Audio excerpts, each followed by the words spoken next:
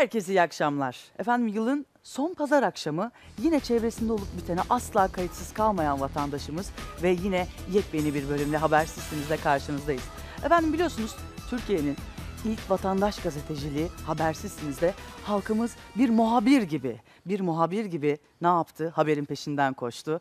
Aynı zamanda haberi kovaladı, çekti, yakaladı ve bize gönderdi. Yani haberi kendi hazırladı, kendi programına gönderdi. Efendim habersizsiniz bu akşam hem yılın en acayip haberleriyle, en çılgın haberleriyle ve konuğuyla başladı.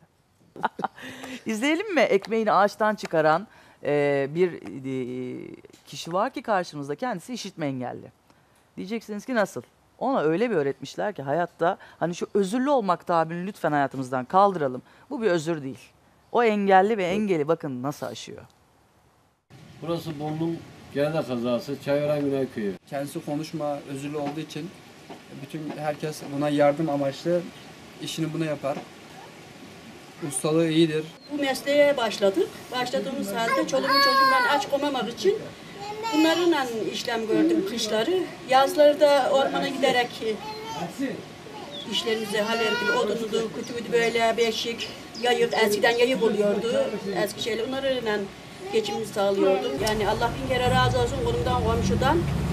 Öğrendi. Şimdi konum komşu bize çağırıyor, eşime çağırıyor. Eşim yani yap- yapıyor eksik yediklerini. Öyle geçimimizi sağlıyoruz. Bu adamın elinden öpmek lazım.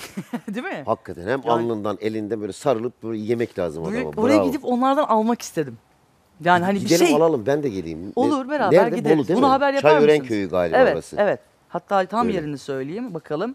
Tam Bolu'da Ay köyün ismini unuttum ya. Mengen miydi? Neresi? Öyle bir şeydi galiba değil mi? Gidelim abi oradan alalım ya. Hüdayi Coşkun'a teşekkür ediyoruz. Biz gelirsek bizi de haber yap. Bizi de haber yapsın. Hazır gelmişken bir haber yapsın bizi de.